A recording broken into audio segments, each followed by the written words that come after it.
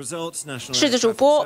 候机大厅塞满旅客，还有带小孩的妈妈，只能无奈继续等下去，因为荧幕上航班资讯一整排都写着取消。导火线就是英国航空管制系统周一大宕机，无法获取各家出入境航班的详细资讯，被迫必须紧急管控起降数量。尽管当地下午三点及时维修，还有不少旅客滞留机场，甚至卡在空中，不知道什么时候降落。Frustrating. I think everybody would rather have not been put on the plane. It was clear that with, the, with the other four planes parked up and people waiting on them, it was clear that we weren't going to be going anywhere. 一家六口被困在飞机上，光是英国一度就有五百架次航班取消，连锁效应下同样冲击到欧洲飞航。预估未来几天空中交通还会持续混乱，恐怕还有数千航班受到影响。航空公司正尽力收拾残局，但像这样的技术性故障相当罕见。上一次英国发生类似航空问题已经是二零一四年。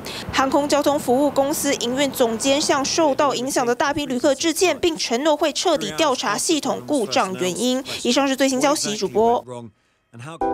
想看最完整的新闻内容，记得下载 TVBS 新闻网 APP。